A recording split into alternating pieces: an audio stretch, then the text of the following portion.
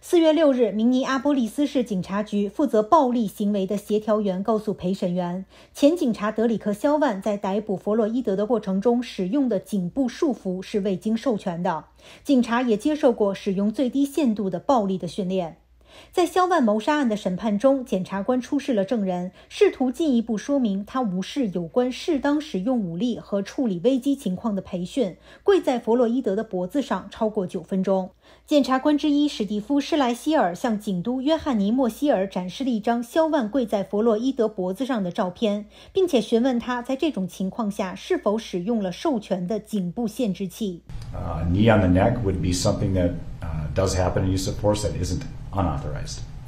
肖万是一名白人警官，他不承认对弗洛伊德的谋杀和过失杀人罪的指控。弗洛伊德因涉嫌在一家商店用一张假的二十美元买香烟而被逮捕。这一事件在美国和世界各地的城市引发了反对种族主义和警察暴行的抗议活动。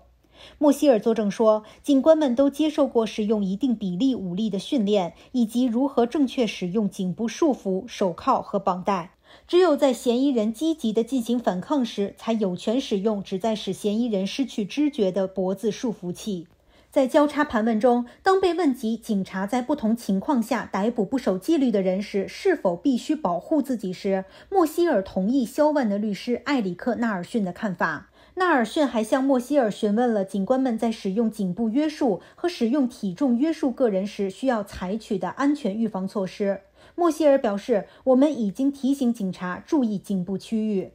该市警察局局长四月五日作证说，肖万在逮捕弗洛伊德时违反了警察局的规定和道德标准。